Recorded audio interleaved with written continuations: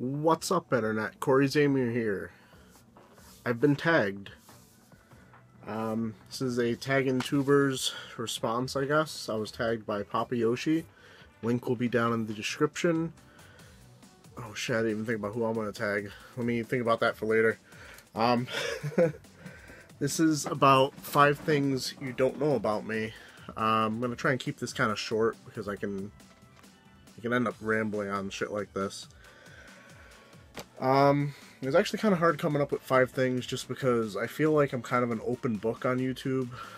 You know, like real name, no gimmicks, my motto, and I feel like I've kind of at least alluded to some of the things that I could have gone over in this, so I kind of was scraping the bottom of the barrel. So if you knew this, it's fucking possible, I guess. But let's go. Number one, I absolutely love podcasts.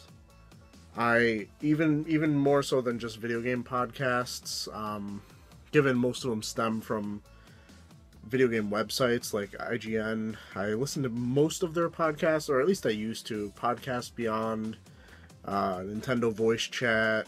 I was even listening to like their UK podcast for a little bit. Uh, podcast Unlocked and like spin-offs such as uh, the Game Over Greggy show, uh, kind of funny games cast, comedy button especially. Alicia and I want uh, watch and listen to the comedy button quite a bit. Um, to the point where we were re-listening to episodes in my car just because I'm too lazy to put new episodes of podcasts on my iPod. Um, fuck, even I think the reason I'm okay with the ladies, aka Alicia, is because I listen to the not, uh, Super Knockin' Boots podcast and I know how to talk to people. Um, even even back before video games, I used to listen to uh, Geek Nights. It'd give me ideas on like different animes and just how to be I don't know more intelligent about certain things. I really enjoy Geek Nights. You can find some of the descriptions in the uh, comments below. I'm gonna leave them there. Uh, what else do I like for podcasts? Star Wars Action News, which is a really weird one for me to like, just because of all the things, I've never really been that into Star Wars uh, action figure collecting, but for some reason, I really liked listening to people talk about it. It was really weird. Which kind of leads me into the next thing. I kind of go through phases with my, I guess, geekdom. Um, I'm all, I've always considered myself kind of an all-around geek as far as like anime, comic books, action figures, video games, although I've definitely kind of put myself more in the video game camp, obviously, as you can see behind me.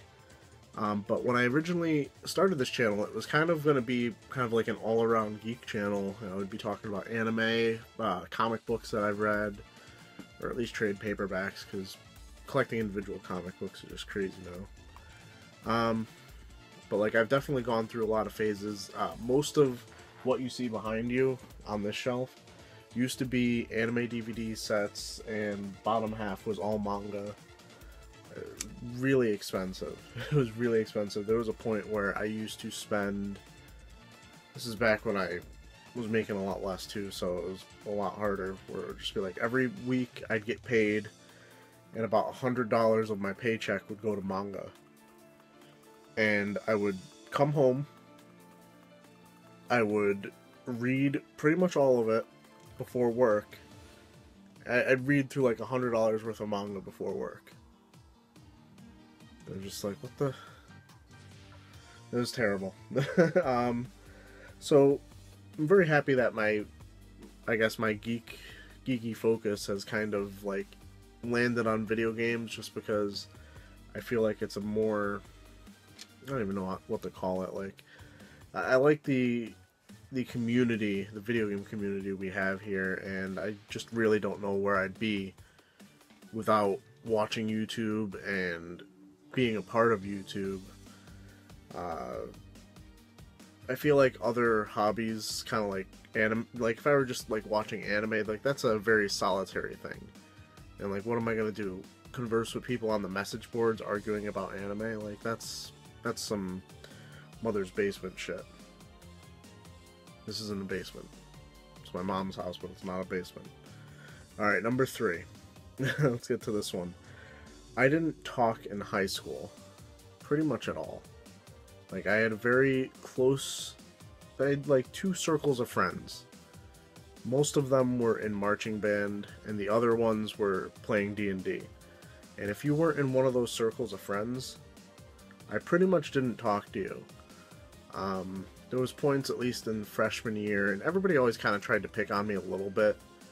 Uh, I was overweight, and the thing is, I, I feel like I was overweight, but I was scary enough that I didn't get like the kind of picking on and harassment that you see in like after school specials because I'd probably fuck somebody up. I know I would have. It never actually came to that though. Anyway, uh, I was damn near borderline fucking goth kid. I was almost a fat goth kid. Like I was wearing Slipknot shirts, Mudvayne shirts, uh, Disturbed. It was kind of weird because I, I like I listened to heavy metal back then, and I also listened to rap. But I really didn't like the other goth kids in the school at all. Like they were just, nope. I could tell something was wrong with that shit. Not you know, that's kind of harsh, but at least back then, and you know, being a high school kid without much worldview, I guess, definitely didn't want to hang with that crowd.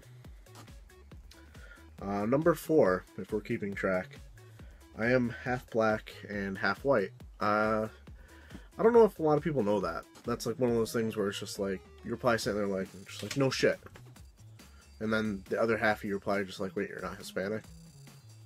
Because I get that a lot in in my work. Like people will come up to me and they'll start speaking Spanish to me, and it's just like no, no fucking clue what you're saying. Mi S. Cory. That's about it. Donde está la biblioteca? Um, number five. I used to play Magic the Gathering, and a lot of my adult friends were basically my Magic the Gathering team. I still go camping with them like once or twice a year, but honestly, I don't see them much asides from that. It's kind of sad.